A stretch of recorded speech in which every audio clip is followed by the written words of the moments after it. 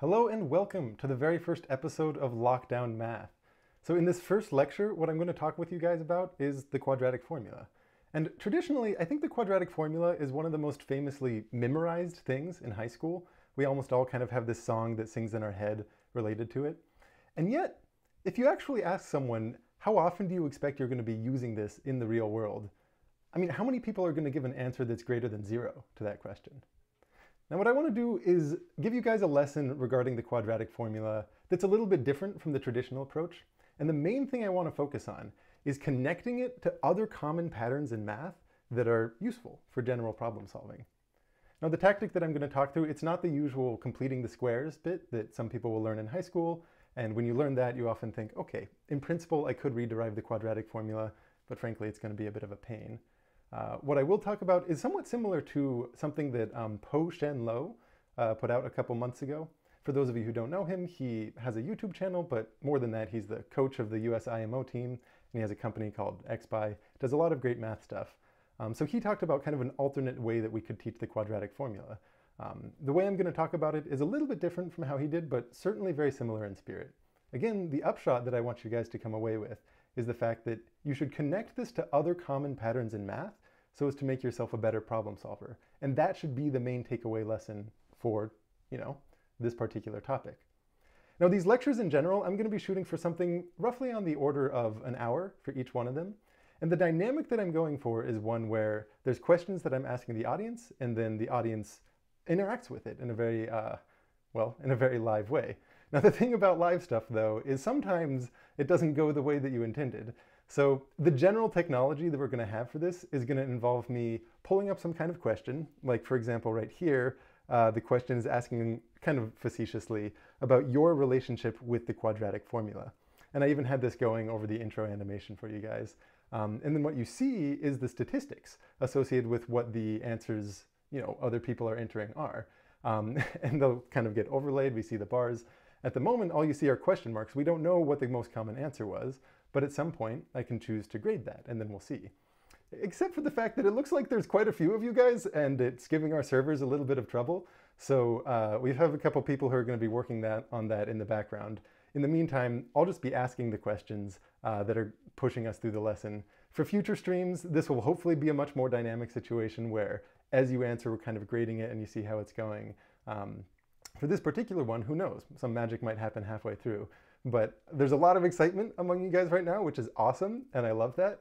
And let's see if we can translate that into some of the math itself. Um, so one of the questions that I was going to ask is how many times do you expect to use the quadratic formula?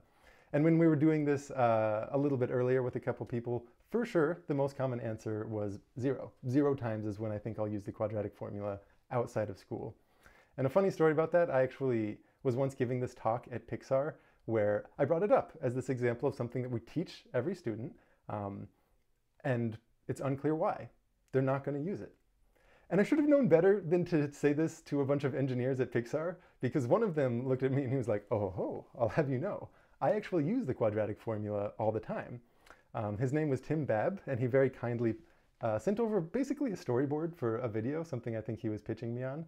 Um, and the basic idea, he, he was talking through an image that he created purely with computer graphics. I think this is totally beautiful. Uh, you would think that this is a photograph of some reflective billiard balls, but this is entirely computer graphics.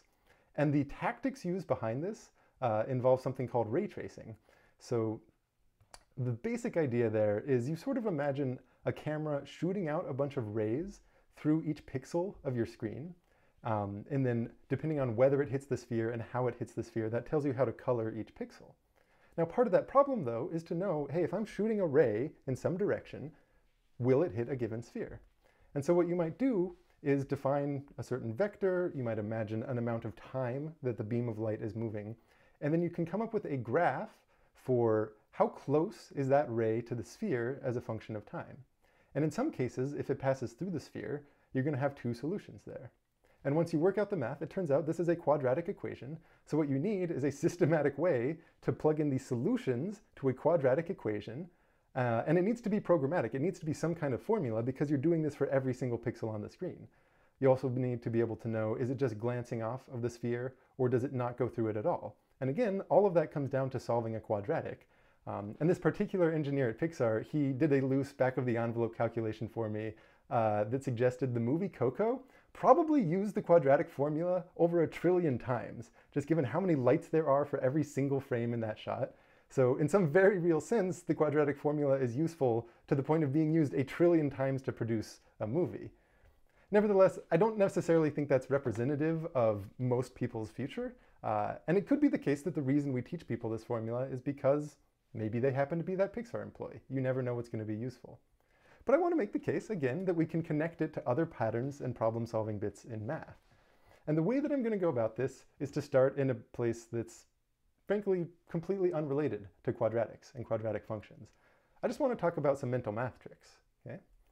Because I think if you are thinking about arithmetic, something very basic, something we do in elementary school, and you think about it deeply enough, some of the patterns that you observe become relevant to stuff that you're doing later on. So for example, let's say I ask you to factor the number 35. You know, it's easy to see that 5 goes into it, and uh, goes into it seven times. Each of those is prime. Great. We know how to factor 35.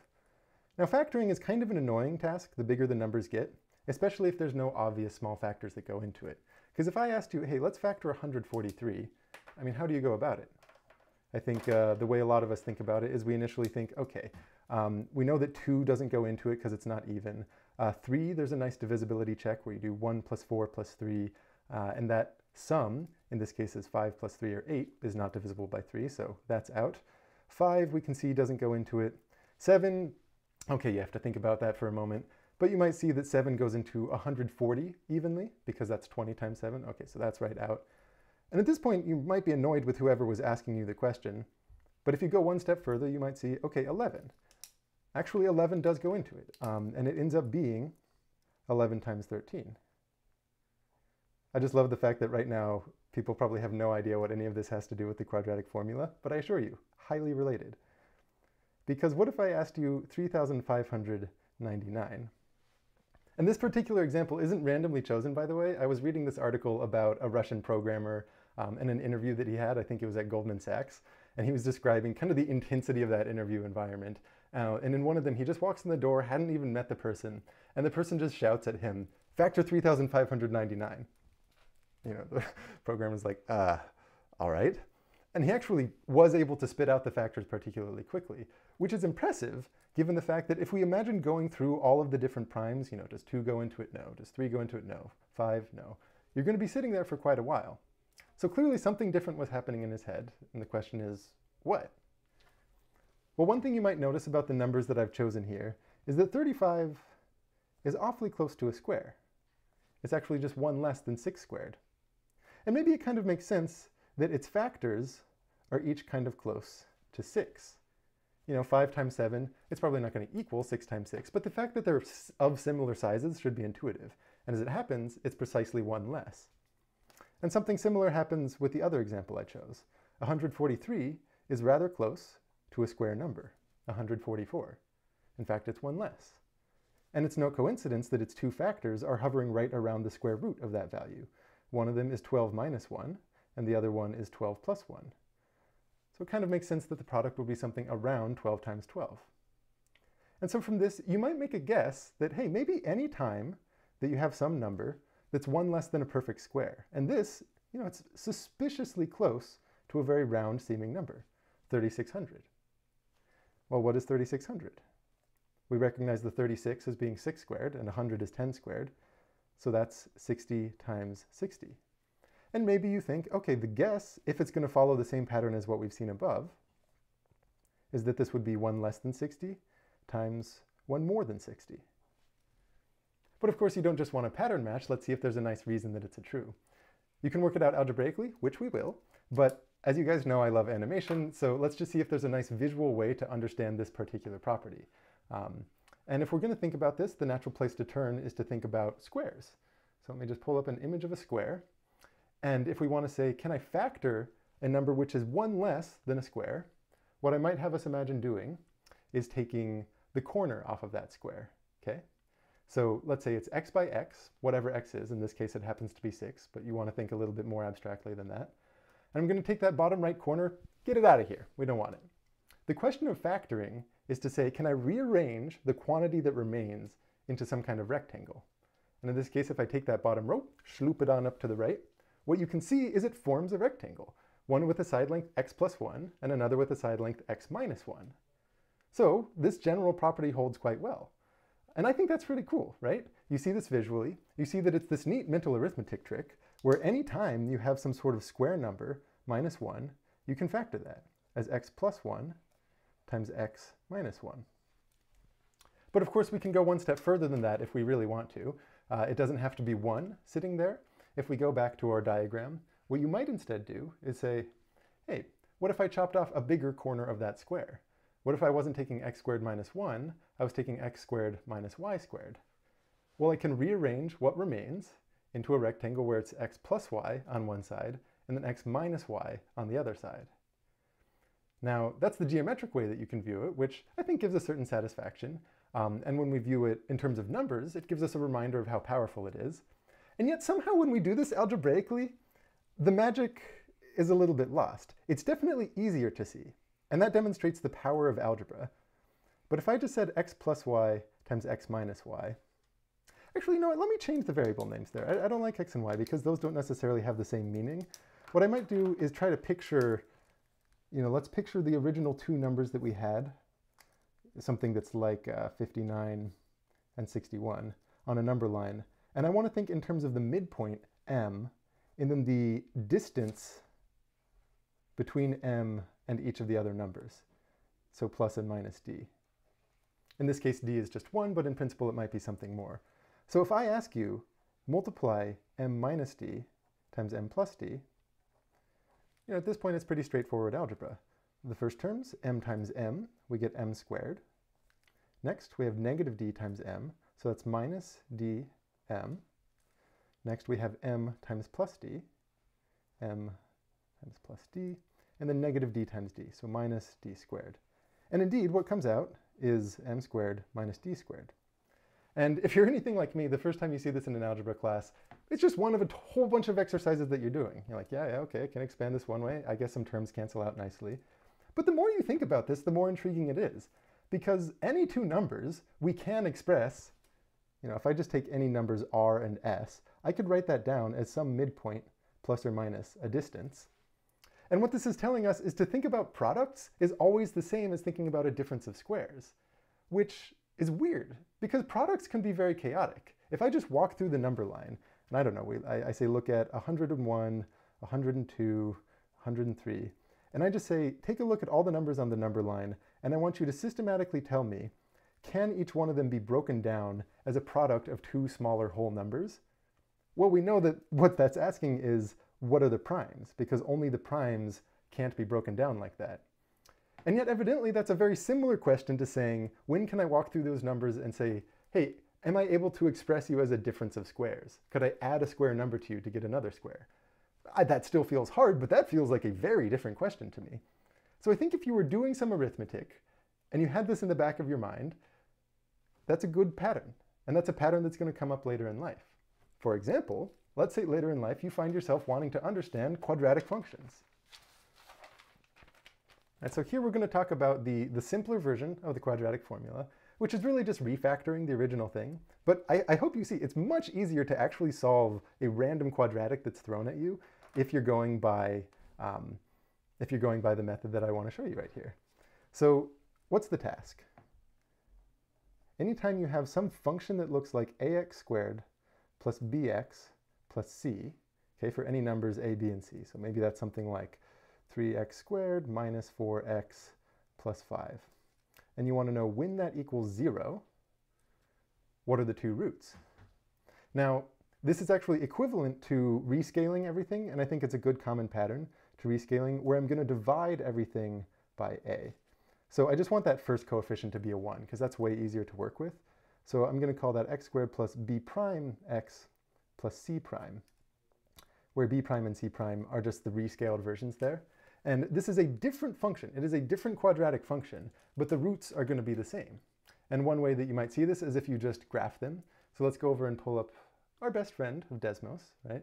So let's say I have some kind of parabola. In this case, I've written it so that one of the roots is going to be 2 and the other is 4. And then uh, g of x here is just the scaled version of, uh, the expanded version of that. It's exactly the same graph.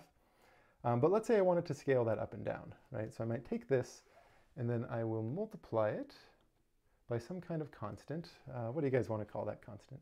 See, this is the thing. If I had the question framework working right now, I could just ask you, what do you want the constant to be? And we would see the statistics come up with what people had. But instead, maybe I'll throw in a slider. Um, and as I change that, the function changes. It is a different function, but the roots are still 2 and 4. Okay? So solving for this rescaled version of the quadratic is the same. And that should kind of make sense because s times 0 is always going to be 0. So it doesn't matter how much we scale it. So going back to, uh, to what we're working with here, the reason that I think it's much nicer to make sure that that leading coefficient is a 1 is because if we're thinking of our quadratic in terms of its roots, and I say, okay, you know, it's going to intersect the x-axis at r and s, or maybe it does, maybe it doesn't, but let's just write one that does like this. Another way that I could express that particular quadratic is as x minus r times x minus s. Because if I plug in r, it's clear that we're going to get 0. And if I plug in s, again, this term will also cancel out to 0. So if I expand this, whatever r and s are, they're the unknowns, I should get the same thing as what we have up here.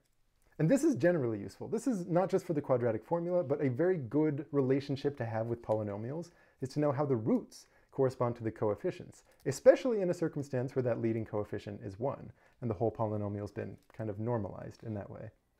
And in this case, if you just expand it out, what we'll get is x squared minus r plus s times x, because we have this minus r times x and then x times minus s. And then the constant term will be negative r times negative s, so that becomes a positive r times s. Okay, so what does this tell us? This tells us the first two uh, of the three key facts that are needed to be able to solve any quadratic without really needing to memorize all that much. So the first key fact is that this uh, b value, I'll call it b prime just to remind ourselves that it's after you've scaled things down, is the same as the negative sum of the two roots. Okay? And then similarly, c prime is going to be the product of those two roots, which is kind of cool. Because what we have right here is, um, you know, it's an, it's an, it's a system that feels like it should have a solution. We have two equations and two unknowns, but it's not obvious how we would go about solving it. And every now and then, uh, I think classes will have a unit in factoring quadratics where they basically tell you to just guess and check. So in some very fortunate circumstances, if you have something like, you know, x squared, uh, let's see, minus 7x plus 12, they basically say, see if you can guess and find um, two different numbers that add up to be 7 and that multiply to be 12. And if you just kind of sit back there and think, you're like, okay, can I find any two numbers that add to 7 and multiply to 12? Well, factoring 12, we get 3 and 4, and 3 and 4 do add to 7. So yeah, in that case, you just totally luck out. And you could write this as x minus 3 and x minus 4, because those are the two roots. And then you typically move on from that chapter and it's like, well, in most cases you won't be able to just guess and check. Um, and in any case, what you're going to look for is a general formula anyway, so hope you had fun with that.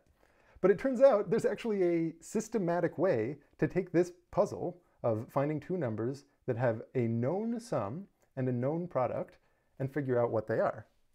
And the key comes down to thinking in terms of not the two numbers themselves, but the mean of those two numbers and then the distance between that mean and each one of them. And you can see where this is going. This is why we talked about difference of squares. Because the third key fact to come away with, or to come into it with, I should maybe say, is that we could re-express that product as m minus d times m plus d. And you see where I'm going, right? That means that the product that we know looks like m squared minus d squared. So uh, just to give an example here, it's, it's often much more helpful to have numbers. Um, let's say that you were given a quadratic like x squared, uh, I don't know, hmm, let's do six even numbers will make this easier for us, and then seven, okay? And you were tasked with knowing when does this equal zero? I haven't told you how to solve it yet, but these three key facts are going to be enough to just basically walk yourself into the answer. Well, what is, what is m, right? Because we're going to ultimately express our roots, r and s, as m plus or minus d for some kind of midpoint. Well, that midpoint is the sum of the two numbers over 2. That's how we define averages. And because we know the sum of the two numbers is uh, negative b prime, that's the same as negative b prime over 2, which you can basically read off of the equation as just negative uh, 1 half times whatever's sitting right there, which in this case will be negative 3. Awesome, we know what m is. But look at the equation we have up here. We have an expression for c, the last coefficient, in terms of m, which we now know, and d, which is the only thing we don't know left. So we could rearrange this, right? so that was saying c prime is that. We could say that d squared, the square of this kind of standard deviation between our roots, is m squared minus c prime, the product of the two roots. But we know both of those values. We could just write that down over here. Maybe I'll change colors again, be a little flamboyant. d squared is equal to m squared, which in our example turns out to be 9, minus c prime, which is that last coefficient, or 7. Whoa. 7. Handwriting is terrible, but I think you guys can work with me. You see why I usually animate stuff. So that means that's 2. So look, when we said r and s is some midpoint plus or minus a distance, that midpoint is negative 3 plus or minus, well, if d squared is 2, that means d is the square root of 2. There you go. You could do that for any quadratic that I give you. You could just walk through that particular process. Um, and let me just show you what it looks like in general so that you can maybe remember it as a formula if you wanted to. In general, for any quadratic, that midpoint is just the rescaled version of b, if the leading coefficient wasn't already 1, divided by 2. And then that distance, well, what did we just do? We took the square root of the midpoint squared minus the product of the two. And when I'm sort of singing it in my head, I've been saying like m squared minus p, just because p has a readable meaning. I think of it as the midpoint squared minus the product. But of course, p in this context is just whatever the last coefficient of our quadratic was. So over in this example, the product of the two coefficients was 7. So for me, what I think the simpler quadratic formula is, if you're going to memorize anything, is to come away and say, it's m plus or minus the square root of m squared minus p. All you have to do is first find m, which is you know, just a factor times one of the coefficients you're looking at, and then find p, which is also, if not already a factor, uh, a coefficient that you're looking at, um, a rescaling of one of them. So this, to me, is way simpler than the traditional quadratic formula. And if you were to try to sing a song to yourself for it, the song is almost too short. It's no fun. You're just sitting there like, m plus or minus square root of m squared minus p. That's it. No song, no song to be had. So let's do a couple practice problems because I do think practice will make it easier. And for future streams, again, um, it'll ultimately be the case that I'm giving you these questions and then you'll be able to go to 3b1b.co slash live and answer them. But because there's too many of you, we can't have any fun today. This is the equivalent of trying to run a class where you have, you know, I don't know, 20 seats sitting out and you're going to do a normal lecture. And then there's just people banging at the doors and trying to cram themselves in and the fire marshal comes in and they're like, ah, you got to cut out the class. You can't have this the way that you hoped for. But it's cool that there's so many of you here enthusiastic to learn about math. Uh, so let's just do some examples, okay? That'll kind of highlight what this process looks like. Let's say we had x squared plus 10x plus 3.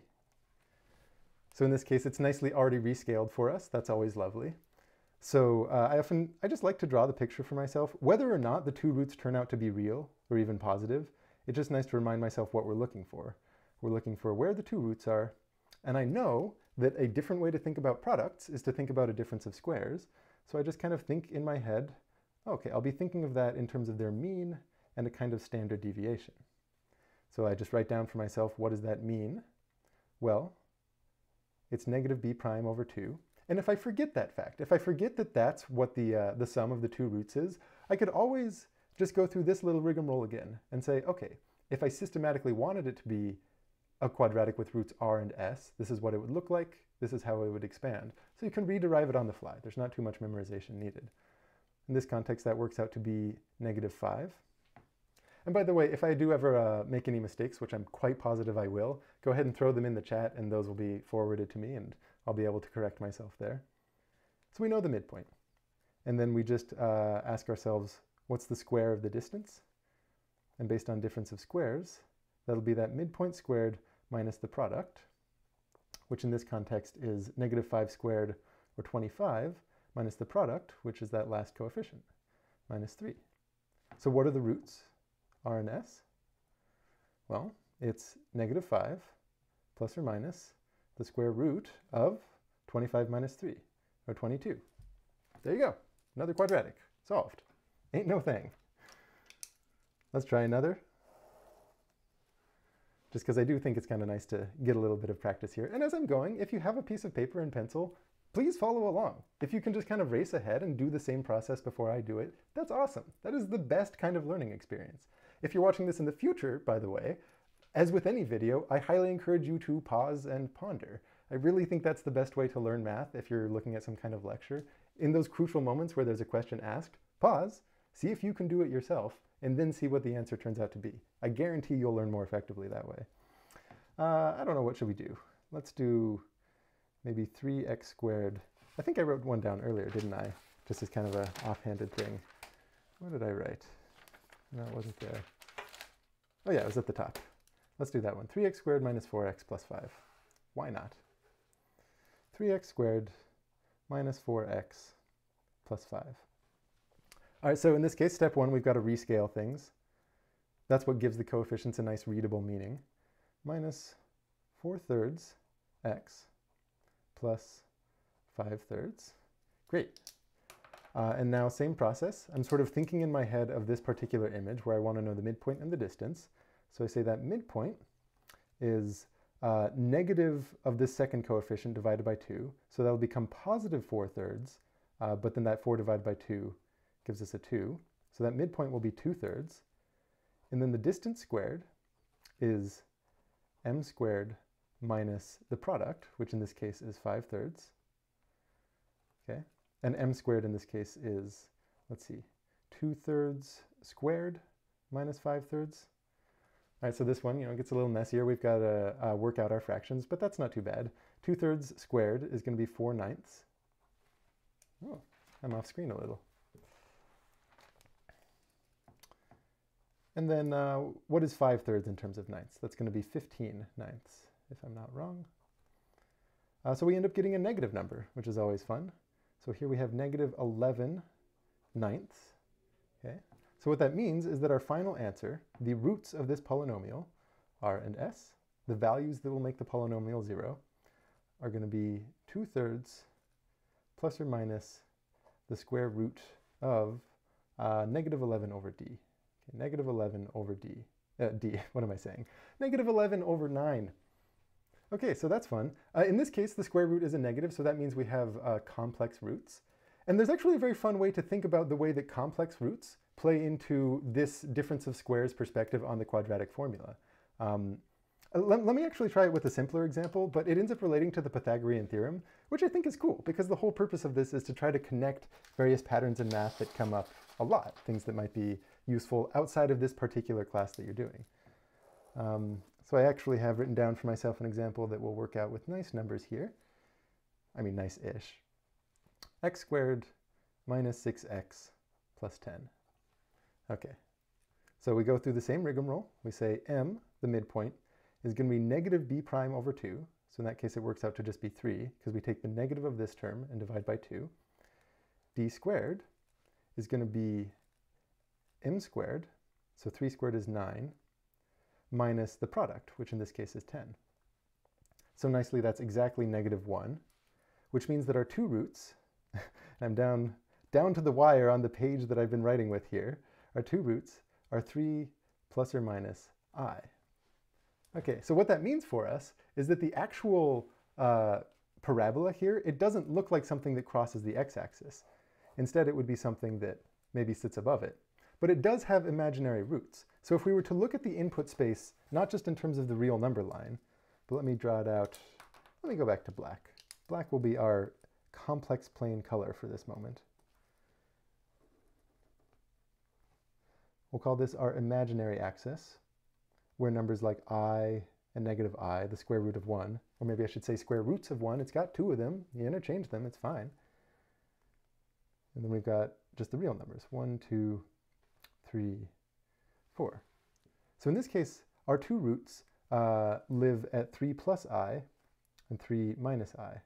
So this, I should be very clear, this is not an x-axis and a y-axis. This entire plane now is where the input lives, where x lives. If you were going to graph it, you'd get some kind of graph that's outside of the paper. Um, and any of you who've watched the channel Welch Labs, which if you haven't, you absolutely should, might be bringing to mind right now an absolutely awesome like artificial reality effect he does where he sort of pulls out that graph.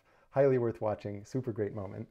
Um, but what's interesting about this is if we look at the magnitude of the roots, okay? Because I could ask you, what is the magnitude of that root? And it's a right triangle that we're looking at. We've switched from algebra to geometry now. And based on the Pythagorean theorem, it'll be the square root of one of the lengths squared, which is in this case 3 squared, plus the other length squared, which is 1 squared. So square root of 3 squared plus 1 squared, um, and that ends up being root 10. It is not a coincidence at all that the magnitude of our roots, I guess sort of uh, no pun intended, the magnitude of the roots of our quadratic equation here um, are the square root of that constant coefficient. Because remember, that constant coefficient is telling us what is the product of the two roots. And if you know something about complex numbers, you might know that if I have two complex numbers and I multiply them together, the magnitude of the product is the same as the product of the magnitudes. So in this case, given that I'm going to have two separate roots who are um, symmetric, you know, it's going to be 3 plus or minus some imaginary number, each of them is going to have the same magnitude. The product of their magnitudes needs to be 10. We know that offhand. So you kind of know ahead of time that it should be magnitude of square root of 10. And the, the reason that this is happening is basically because when you do difference of squares, something like m plus uh, d times m minus d, but that distance is an imaginary value, i, what you get is m squared minus i times d squared, but because i squared is by definition negative 1, you get a sum of squares. So even sums of squares, which come up in geometry, Pythagorean theorem stuff, all of that, can be expressed as a kind of difference of squares, which itself gives a kind of factoring. And this, this shows up in a lot of very, very beautiful math later down the road. Uh, one, one of my favorite videos that I've made actually is, um, oh, what did I title it? I think pi hiding in prime regularities, uh, where you're counting lattice points inside a circle, and the key insight associated with doing that is to realize that asking when you can express something as the sum of two squares is a sort of factoring problem. But it's factoring not where you're dealing with prime numbers on the real number line, but primes in complex numbers, these things called Gaussian primes. So even simple, uh, I shouldn't say simple stuff, but even stuff that comes up in high school, like the quadratic formula, I think if you're learning it the right way, it ends up connecting to all sorts of other delightful things. And remembering these patterns comes up, like I said. So just to reemphasize, how did we get here? What three key facts do you need to be aware of with quadratics to be able to kind of rediscover a kind of quadratic formula on the fly? The first one is how to read the, the coefficient sitting in front of x. Right? If we have a quadratic that looks like x squared plus b prime x plus c prime, you can read that first coefficient as the negative sum of the roots. If you don't know that already, you can rediscover it on the fly, but that is actually worth coming away with. Similar with how you can read the other coefficient. It's the product of the roots. Then the only other thing you need to know is that uh, we could express that product of roots as a difference of squares with respect to the mean and the kind of standard deviation of those roots. And you can just solve any quadratic that comes to you on the fly. The only thing that looks remotely like memorization is if you want to jumpstart to the end and just say m plus or minus m squared minus p. Now, to finish things off, I think it would be very satisfying to remind ourselves that this is actually equivalent to the traditional quadratic formula, something that looks much bigger. Uh, so let's go ahead and let's go ahead and actually do that exercise. And again, if you can, pause and just work it out for yourself right now. All right, so let's remind ourselves of how that goes. So we've got, uh, what are we solving? Any kind of quadratic. ax squared plus bx plus c. We want to say no matter what a, b, and c are, give me a systematic way to find these roots. Again, maybe you're doing something beautiful like ray tracing. Let me pull up that image again. That was a really nice image. I just can't believe that this is something that a computer generated. I guess I should believe it because like Pixar movies are amazing, but um, Evidently, if you know the kind of math that can lead you to create an image like this one, uh, that's the kind of thing that can get you a job as an engineer at Pixar. Uh, and of course, what is that math? That math is exactly what we're doing right now. So let's work it out again. ax squared plus bx plus c equals 0. This time, we're just going to write everything in terms of a, b, and c. No new variables coming up. So when, when we do the first step of rescaling, we say x squared is equal to b divided by a times x plus c divided by a. We don't give it any new names. Now remember how our trick works. We sort of picture in our head, hey, imagine this quadratic has some roots. Let's call them r and s. And we're trying to find the midpoint and the standard deviation. And we can read off that that midpoint is the negative of the second term divided by 2. So in this case, that's going to be negative b over 2a. Great. And then that standard deviation is going to be m squared minus the product of the roots, uh, which in this case looks like negative b over 2a squared minus, and the product here is what that last term is, c divided by a, c over a. And remember, if you, if you don't remember this idea that, oh, that's what the distance is, just rederive it for yourself on the fly. Just go and say, okay, I remember that the product, p, is uh, just the product of my two roots, which can be expressed as m minus d, m plus d. Oh, okay, that's something I can write as m squared minus d squared. Oh, okay, that's what gives me an expression for d squared in terms of m squared and p. Don't feel like you have to just come in and uh, know it off the top of your head. But after you do it a couple times, it, it sticks in your memory. So that's m, that's d. And the quadratic formula is just telling us that the roots are m plus and minus that standard deviation, which in this case looks like, maybe I'll write it out on two lines because this will be a lot, negative b, actually no, I'll write it on one line for this one, negative b plus or minus, I'm jumping to the original quadratic formula, a little bit too hard ingrained. We'll go back to two lines. Negative b divided by 2a, divided by 2a, plus or minus the square root Oh, I, I, wrote this incorrectly. Oh, someone should have corrected me. Uh, this is what d squared is equal to. d squared is this whole thing. So d itself is the root of those. I'm sure lots of people were shouting that in the live chat. I, I don't have it pulled up now, but to those of you who did, much appreciated. Um, so what do we have here? Well, it's going to be the square of negative b over 2a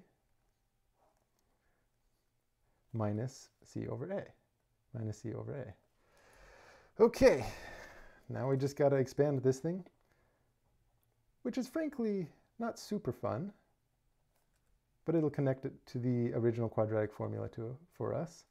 So I can pull out this 2a squared, and I'm just going to write that as 1 over 4a times, uh, times negative b squared. Negative b, yeah, negative b squared. Um, and then I want to also pull out 1 over 4a I want to be able to say that the last term also looks like 1 over 4a times something. Um, and that something, to make it equal to c over a, would have to cancel out the 4. It would have to cancel out an extra a, um, and then c. Sorry, because this is really 1 over 4a squared. Let's see, have I done this right? Yeah. Because I pulled out the 2a, so that should be 4 times a squared. So over here I have 4 times a squared. Um, I want that to cancel to become c over a, which it looks like it does, so that's awesome. So I can go over here, negative b over 2a plus or minus. And if this feels tedious, that's kind of the point. The whole quadratic formula is more complicated than it needs to be. Because we were just solving any quadratic that was thrown at us without having to do this. But this is what happens if you don't introduce any new variable names on your way. It's like code that hasn't been refactored properly. Okay, so what, what can we do here? We can factor out the 1 over 4a squared, um, and because that's in a radical, its square root will also be 1 over 2a, and then what sits inside is what remains, the well-familiar negative b squared minus 4a. Okay, and this, this is starting to look like the traditional form, because if we pull onto the numerator, negative b plus or minus square root of, why am I writing negative b squared? Yeah, sorry, this is a negative b squared, same as positive b squared. What should sit on the inside here is b squared minus 4ac, 4ac, You can see how scatterbrained I am when I'm just doing some arithmetic at times. It's okay. We all forget a variable or two here and there. Um, but th I get, maybe that's why I actually care so much about formulas having nice readable meanings, because I think this is a very error-prone process for someone like me. If I'm just trying to uh, work through with a bunch of symbols that um, I, I, don't necessarily know how to read them, I get to the end result, and it's hard for me to say, like, oh yeah, of course that's what the answer is. Uh, whereas if I look at something like the simpler variant of the quadratic formula, right, if I basically refactor it, and I'm saying, okay, does the midpoint equal negative b over 2? I can kind of fact check, yeah, that, that makes sense, especially if you know a little calculus. Those of you will be able to look at that quadratic formula and understand how to find the uh, maximal or minimal point. So that's a, a thing that gets reinforced with a better pattern later on in your mathematical life. Always a good sign that you're learning things well. Um, I can ask myself if it makes sense that the distance looks like this. Again, that, that has a readable meaning. So when I'm looking at the simpler version of the quadratic formula, we have m plus or minus a kind of square root uh, of the variance, a kind of standard deviation. Um, so it's a refactoring. Now I titled this thing, this is the simpler version of the quadratic formula, and I think someone could rightfully complain. Is, is this actually simpler? Because you know, you've got a lot of steps, you've introduced new variables into it. Now, in addition to thinking of the three coefficients a, b, and c, you're telling me I also have to think about like a new term m and a distance between them. But for me, math is very much about trying to draw connections to other patterns, and I think things are much better remembered if you have that web of connections in your head rather than just isolated cases. And the whole lesson here, if we think about what's going on, it's about representing the same information in different ways, right? Because what the quadratic formula is doing for us, it's saying, can I go from my coefficients a, b, and c, and can I get to the roots, r and s? And we know that there's a very easy way to go the other way around because we can expand something like x minus r and x minus s. And really, because that a can get scaled out, it doesn't add any information to the system. There's really as much information as two different constants in there. So one of these directions is easy, and one of these directions is hard. And this idea of information that can be expressed in separate ways and translation one direction being easy, one direction hard, that comes up all the time in math. That's a very useful thing to think about. And another useful thing to think about is how sometimes going in that harder direction will be better if you go through some intermediate step. In this case, rather than thinking of your pair of numbers on the number line um, just as they are, doing your m plus or minus d trick, because we know that that changes how you think about products. If you go through the intermediate step of expressing that same information with a mean and a standard deviation, that can get you to the roots. And that's all this is. It's just talking about different information flow paths that can help go between various ways to just express two numbers, whether those two numbers are the coefficients of your quadratic, are the roots of the quadratic, are the mean and standard deviation. So if the lesson you come away with is one of thinking, oh wow, sometimes there's a lot of different ways that I can represent my data, and some of them lend themselves to certain kind of problem solving better than others, well then that is the proper lesson to have with the quadratic equation. Okay, so I think with that, I'm going to call it an end to lesson number one. Really want to thank everyone who showed up for this. Uh, definitely a ton of fun. Next time, we're going to have the live quizzing dynamic where we're going to get stats up on the screen. So um, it's going to be pretty cool. I, I think this is uh, a very cool thing that two former coworkers of mine put together uh, from Khan Academy. But obviously, this is the first time that we're trying it. It's a little rough around the edges. So in the end, what it's going to look like is these bars that you're seeing live. Oh, interesting. These are bigger numbers than they were before. Okay, clearly so they're updating. They're updating. Oh, this is exciting. Do I have actual access here? Oh, it would be so fun to do this properly before we end. Oh my God. Oh, this is so great. I think we're I think we can do it. Okay. Are you ready for this, guys? Okay, I'm grading the answers. Oh, oh, wonderful. Oh, we can see what people answered. This is great. This is how I wanted to end the stream. While I was talking, just in the background, some magic was being done. This is wonderful. So it looks like the most common answer, what's our question here? What best describes your relationship with the quadratic formula? And the most common answer is C. I'm a big fan, you might say I'm rooting for it. Um, so it looks like uh, 1,724 of you, five short of Ramanujan's constant, um, are addicted to puns. Let's do a couple more. This is going to be pretty fun.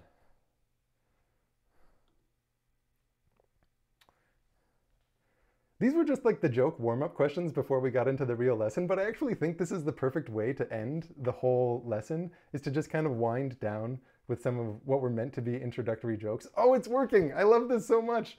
Oh, and there's so many of you answering. This makes me so happy. All right, so what's our question here? If the quadratic formula had a patronus, what would it be? Okay, well, it looks like around 800 of you think it will be something. by, by the way, I um I definitely I'm being told right now that if there's too many of you who access it, we're for sure going to break the system, and I'm purposefully ignoring that because I'm having fun with this, and if it breaks, that kind of tickles me. So uh, I'm being told not to say this, but please go to 3b1b.co/live and enter questions to this.